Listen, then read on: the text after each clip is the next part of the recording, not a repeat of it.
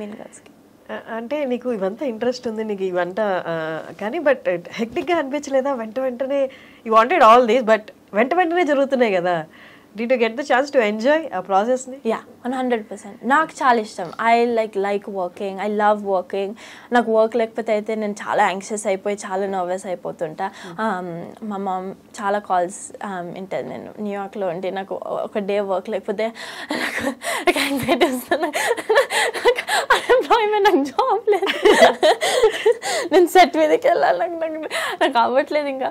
So నాకు చాలా ఇష్టం working constantly and this is the age నా ఒపీనియన్ లోపల. Um, ఇప్పుడు ఎనర్జీ ఉంది ఇప్పుడు హంగర్ ఉంది um, ఇప్పుడు డ్రైవ్ ఉంది. సో ఇప్పుడు కాకపోతే ఇంకా ఫిఫ్టీ సిక్స్టీస్లో అప్పుడు రిలాక్స్ అవ్వాలి కానీ ఇప్పుడు అవసరం లేదు.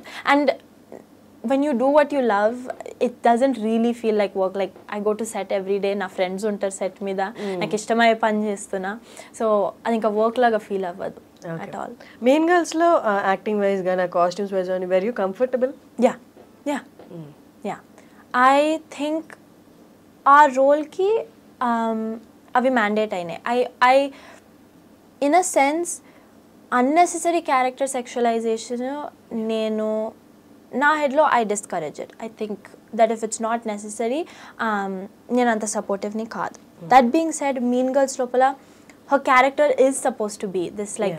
Peak glamour character and high school లోపల ఇది చాలా కామన్ థీమ్ దట్ ఒక అమ్మాయి చాలా అందంగా ఉండి ఇట్లుంటే she's probably going to be stupid and so ఈ క్యారెక్టర్ ట్రోప్ ప్లే చేయాలని అంటే full కమిట్మెంట్తోని that was what was necessary and I think that if you cannot commit to the character wholly then you should not do it at all. And so క్యారెక్టర్ని half ass చేయడంలో point ఏం లేదు right ఆడియన్స్కి entertainment ఇవ్వాలనే goal and so నా opinion లోపల that was my full commitment to the character and I was happy with అమ్మ నుండి అండ్ ఫాదర్ నుండి ఎలాంటి రెస్పాన్స్ ఉంది వెన్ అంటే ఇది ఫైనలైజ్ అయింది ఆ రోల్ చేయబోతున్నా అన్నప్పుడు? My mom actually really fought for me to be able to do that film ఎందుకంటే నాకు చాలా ఇష్టం అని. సో ఆమెకి ఆబ్వియస్లీ కల్చరల్ ఇన్నోవేషన్స్ ఉన్నా నా ఇంట్రెస్ట్ ప్రయారిటీ తీసుకుంది. అండ్ సో నాకు చాలా ఇష్టం ఈ సినిమా. మీన్ గర్ల్స్ అనే సినిమా నేను పుట్టి పెరిగిన ఆ సినిమాతోని నాకు ఈ రోల్ అంటే చాలా ఇంట్రెస్ట్ కాబట్టి she fought for me to get that part ఎందుకనంటే ఆ టైంలో అమెజాన్తో డేట్స్ బిగ్ గర్ల్స్ డోంట్ క్రైకి కాన్ఫ్లిక్ట్ అవుతుంది అనమాట mean girls rehearsals date Amazon dates so ఆమె ఇంకా ప్రొడ్యూసర్ ఇంటి ముందర నిల్చొని అమెజాన్ ప్రొడ్యూసర్ మీరు సంతకం పెడతారా లేదా? ఆమె కాంట్రాక్ట్ మీద ఆమె వెళ్తుంది ఇంకా. వన్ వీక్ టూ వీక్స్లో వెళ్ళిపోతుంది ఆమె. ఆమెకి రిహర్సల్స్ ఉన్నాయి. మీరు ఇంకా షూటింగ్ కంప్లీట్ చేసుకుంటే చేసుకోండి. లేకపోతే ఆమె వెళ్ళిపోతుంది. ఆమెకి ఇంట్రెస్ట్ ఉంది సినిమా మీరు సంతకం పెడతారా లేదా? త్రీ ఏఎం టూ వాళ్ళు స్ట్రిక్ట్ ఉండేనా అమెజాన్ వాళ్ళు?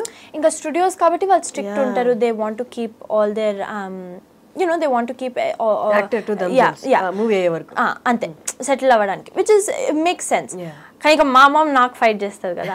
సో ఆమె వాళ్ళ ఇంటి ముందర టూ ఏఎం త్రీ ఏఎం వరకు అట్లా నిల్చొని పేపర్ మీద సంతకం తెచ్చుకుంటే అప్పుడు వాళ్ళు వెళ్ళి నిల్చారు amazing two AM three AM వరకు అక్కడే నిల్చున్నారా?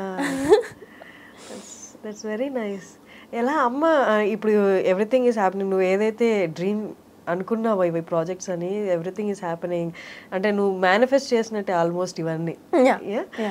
అన్నీ అవుతున్నప్పుడు how is she feeling I hope she feels happy and I think she feels happy Indian parents తెలుసు కదా ఇంకా. వోకలైజ్ చేయడం అంత పెద్దగా ఏమి ఉండదు.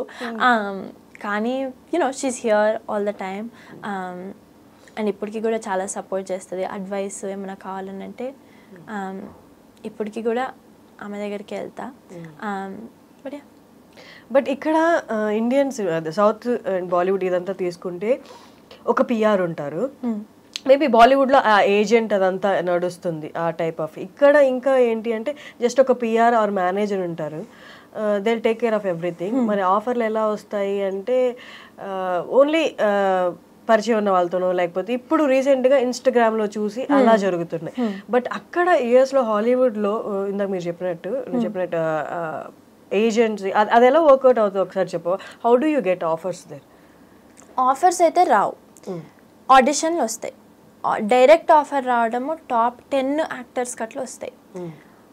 If you're anybody else you have to audition grounds up for everything every project మీరు established అయినా you have to tape you have to audition for that so that's that's the major difference Indian film industry Telugu film industry and American film ఇండస్ట్రీకి ఎందుకనంటే అక్కడ actor work ఎంత character driven ఎంత performance driven ఉంటుందని అంటే you cannot just టేక్కి ఓ వాళ్ళు ఈ రోల్స్లో చేసిన ఆ రోల్స్లో చేసిన దీంట్లో కాస్ట్ చేసేసేయచ్చు అని చేయలేం.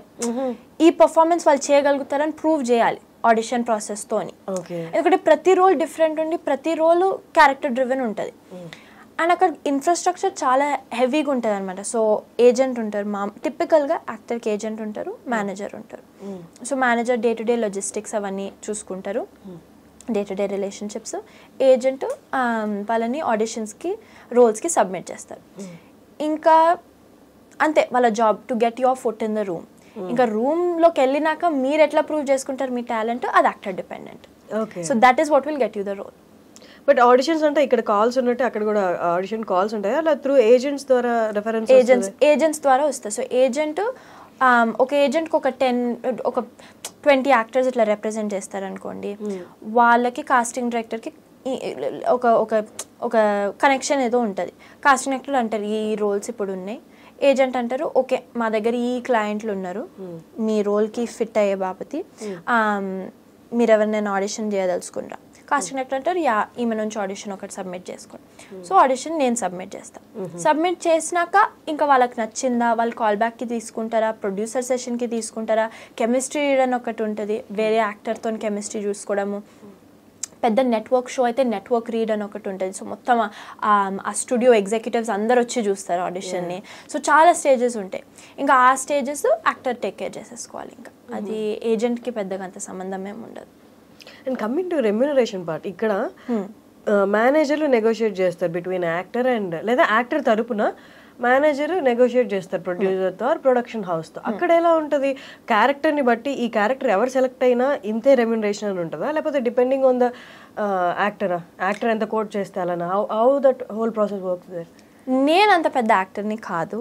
సో నా రేంజ్లో జరిగేది ఏంటంటే it's similar to Bollywood your lawyer negotiates on your behalf so they just push. ఇంకా స్టార్టింగ్ వాళ్ళు ఒక ఒక ప్లేస్లో స్టార్ట్ చేస్తారు. ఇది this is what we're offering అని.